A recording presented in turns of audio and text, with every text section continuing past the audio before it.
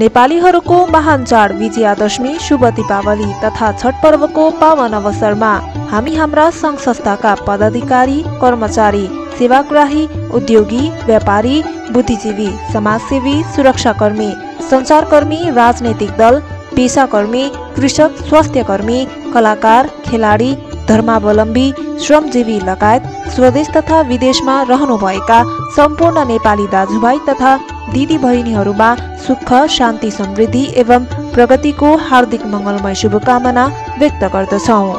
अध्यक्ष उमाकान्त पन्त तथा समस्त वन तथा वातावरण संरक्षण समन्वय समिति परिवार गढवा दाङ